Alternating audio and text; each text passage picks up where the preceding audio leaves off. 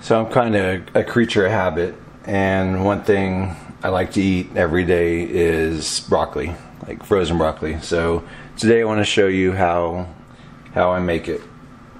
So a couple things we need.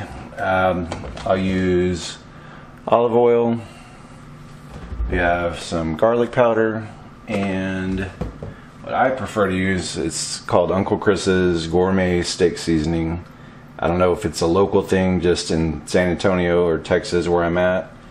Uh, it's made for steak, obviously. It contains salt, MSG, of course, garlic, onion, bell pepper, butter flavored, modified tapioca starch. It's interesting.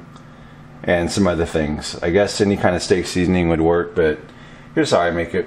For the, so for the first step, what we do is I'll get my pan and I'll turn it just slightly above medium. So mine has dials, dinky stove, but so I'll put it between five and six. Get my olive oil and then coat the pan with it. I don't measure it, I just get it to where it's not too much, but enough that when it's hot, it's gonna coat the pan. Now with this, I'll heat it at this for two minutes and then while I'm doing that, so I'll kind of have everything ready. So let it let it heat for two minutes.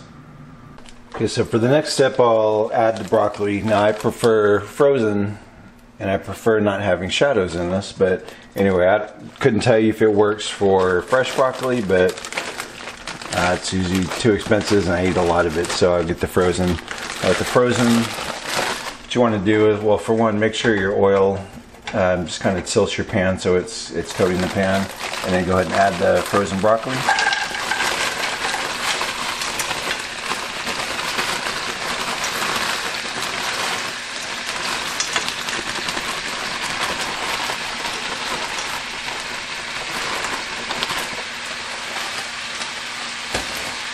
Now you want to add enough that it fills the pan without overfilling it.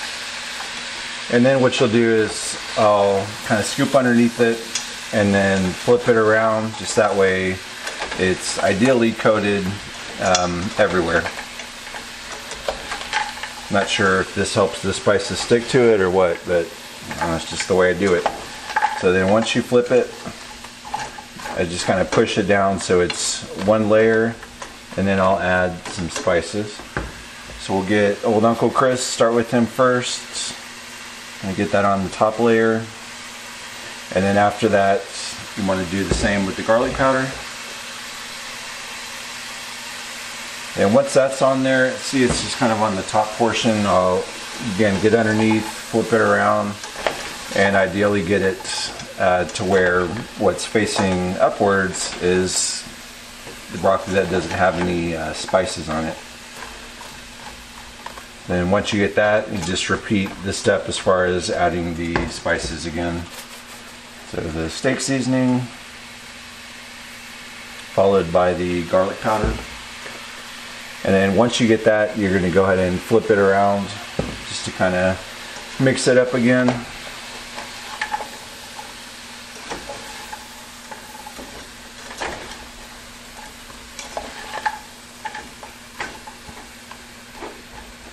And then after that, I'll go ahead and set the timer for six minutes.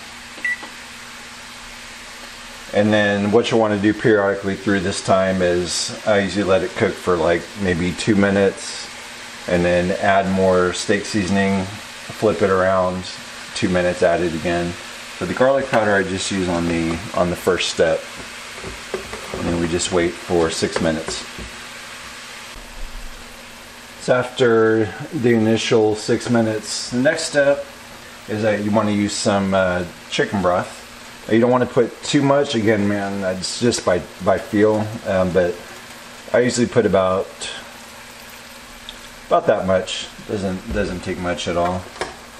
And then I put the lid on it, leaving it at the same temperature, just a little over medium. I'll cook this for six more minutes. Been making broccoli like this for for years, so this is just what I found works best. I don't have a affinity for number six. So then at this point, you're just going to leave it six minutes and then don't open the, the lid on it.